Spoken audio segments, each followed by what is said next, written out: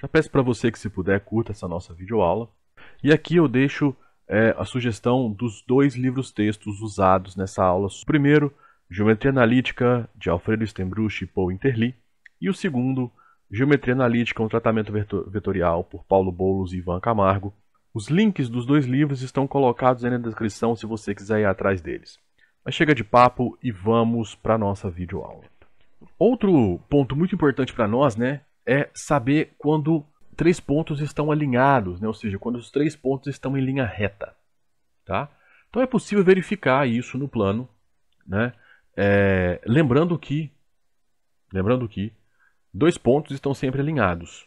Tá? Você sempre consegue uma reta que passa por esses dois pontos. Mas três pontos nem sempre estão alinhados. Tá bom? Mas na imagem abaixo você tem aqui três pontos alinhados. Ó, A, x1, y1, B, x2, y2 e C, x3, y3. Nós queremos estabelecer uma condição que garanta para nós se esses pontos estão ou não alinhados. Bom, o que, que nós vamos fazer? Nós vamos prolongar a reta horizontal que passa por A, obtendo os pontos P e Q. Então, ó, aqui, ó. Você vai prolongar essa reta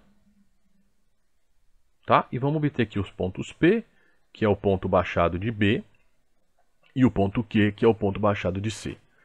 Novamente, a gente sabe que os triângulos ABP e ACQ, então, ABP e ACQ, o maior, são semelhantes, né? pela mesma lógica que a gente usou para encontrar a coordenada x lá do ponto médio.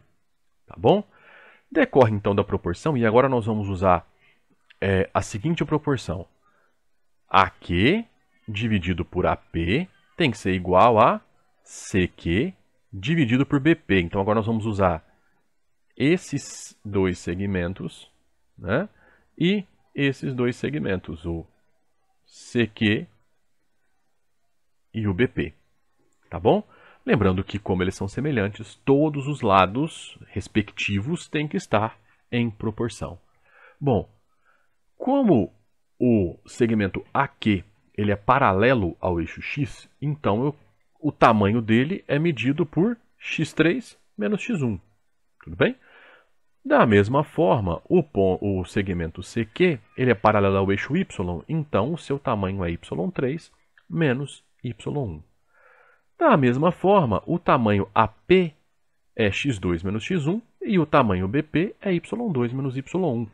Então, Substituindo aqui nessa relação de semelhança que eu tenho para os lados desses dois triângulos, eu fico com x3 menos x1 dividido por x2 menos x1, y3 menos y1 dividido por y2 menos y1.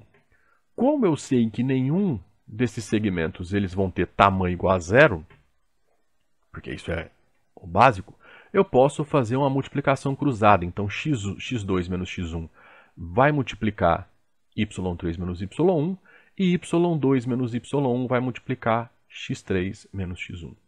Na hora que eu fizer esse produto, eu vou chegar exatamente nesse produto aqui.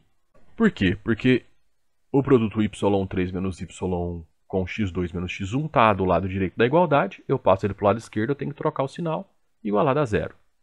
Ok? Bom, se você expandir né, esse produto, ou seja, vai multiplicar cruzado aqui, né? Aqui você vai precisar de um pouquinho de, de paciência para fazer essa conta e depois um pouquinho de inspiração para perceber que o que você vai obter é exatamente o determinante né, é, de uma matriz que tem como linhas as coordenadas de cada um dos três pontos, aonde o último elemento é 1. Ok? Mas isso vem dessa relação. Tá bom? Não é que eu estou pegando um ponto no R3, né, um ponto tridimensional, e estou considerando o, o, plano no R3. Não é essa a ideia.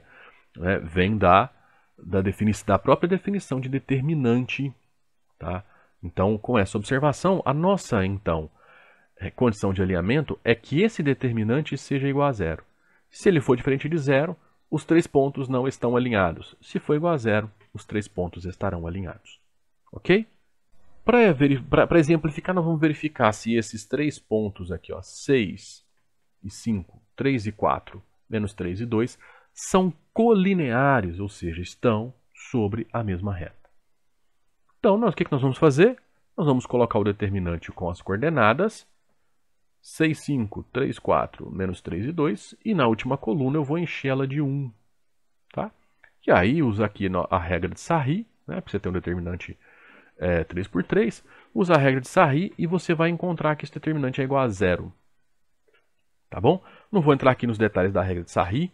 Se você não domina essa regra de determinante, nós temos uma aula aqui apenas sobre determinantes. Eu vou deixar linkado para vocês aí. Tá bom? Inclusive já tem até um, um cortezinho só sobre a regra de Sarri, para já ser mais direto. Como o determinante é igual a zero, logo eu posso concluir então que esses três pontos são sim colineares. Tá? Eles estão sobre a mesma reta. E aí, gostou dessa nossa aula introdutória sobre o R2? Se você gostou, se essa aula te ajudou, eu peço então para você apoiar o nosso projeto. Como? Curta a aula, compartilhe com seus colegas, inscreva-se no nosso canal. Se você quiser apoiar ainda mais, você pode fazer um Pix para nós, a chave Pix está aí, está também na, na descrição. E na descrição você também encontra todos os links para os artigos do site usados nessa aula, bem como dos livros que a gente é, citou lá no início da aula. Então era isso, até a próxima aula. Abraços.